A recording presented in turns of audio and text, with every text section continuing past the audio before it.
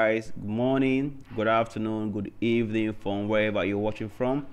In this short video i'm, going to show you how you can uh, actually get your your your usdt uh, receive address. As simple as this may seem it's very important i share this information out there for those that might be having some difficulties.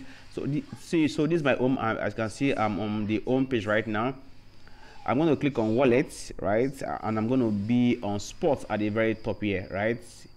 So, so because I'm on the top, so now I want to get, I want to get a link that will help me deposit money, right? So therefore, therefore I'm going to click on deposit. So I'm, I'm currently on deposit. So I'm going to click on the coin I want to receive the uh, address. I'm going to click on USDT.